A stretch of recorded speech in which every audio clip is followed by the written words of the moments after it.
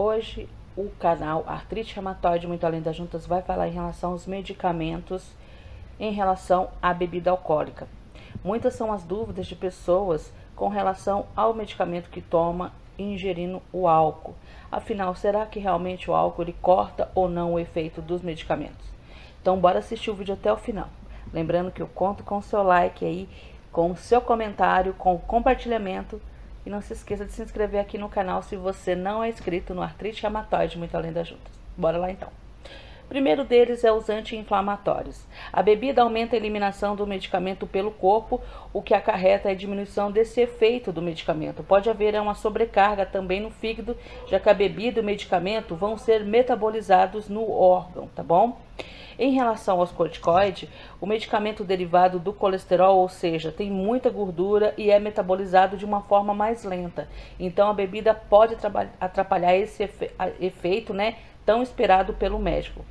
Em relação a analgésicos e antitérmicos, vai depender muito da molécula que são formadas. No caso do paracetamol, do dipirona, que são os medicamentos mais conhecidos, a velocidade de eliminação do medicamento do sangue vai ser mais rápida com a bebida e da mesma forma o efeito vai ser menor tá bom? Em relação aos antibióticos, se o médico passou um medicamento desse tipo e a pessoa continua bebendo álcool, o efeito não vai ser efetivo no organismo. O ideal é parar de beber enquanto está fazendo o tratamento.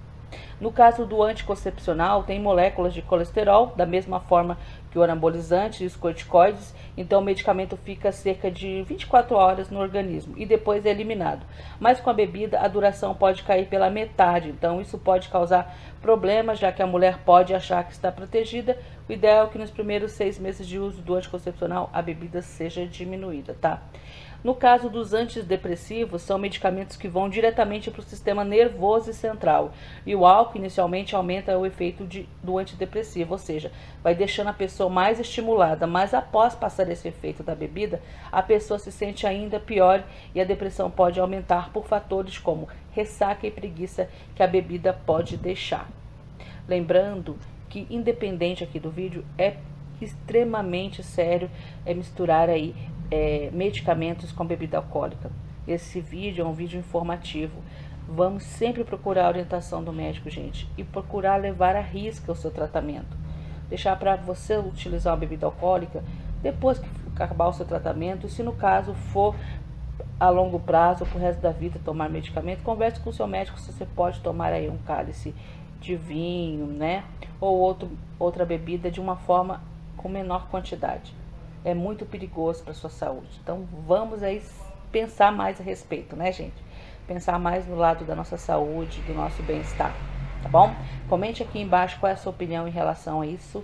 Não se esqueça mais uma vez de deixar o seu like, o seu comentário, de compartilhar, de curtir muito e de se inscrever aqui no Artrite Reumatoide Muito Além da Junta se você não é inscrito.